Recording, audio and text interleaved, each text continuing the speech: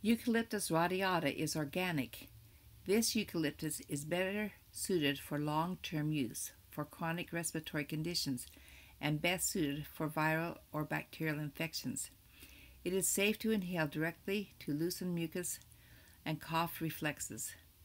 Beneficial for opening breathing passages, supports the respiratory system, bronchitis, sinus problems, asthma, tuberculosis, diphtheria, mouth infections, coughs, cold, sore throats, flu, runny nose, congestion, air purifier, and pneumonia.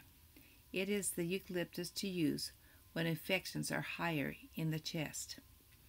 It assists dental infections, cavities, dental pla uh, plaque, gingivitis, mouthwash, a deodorant mixed with carrier oil, nerves, ligaments, tendons, and beneficial for insect bites. It fights virus, uh, fevers, inf inflammation, swollen glands, laryngitis, herpes, malaria, um,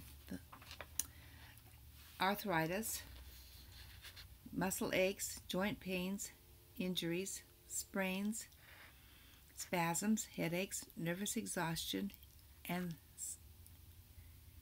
sciatica.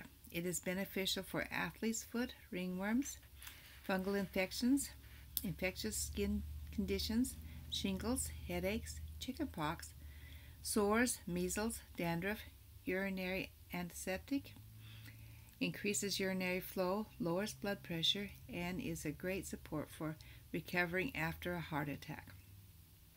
Some oils it mixes well with is uh, basil, cypress, ginger, juniper berry, pine, marjoram, peppermint, ravensara, rosemary, and tea tree.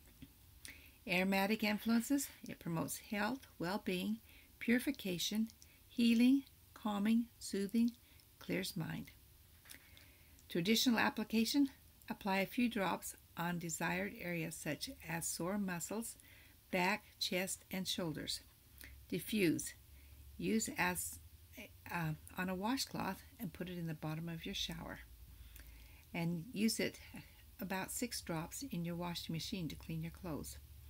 Diffusing helps with that hemmed in feeling and helps you feel like you're able to breathe again.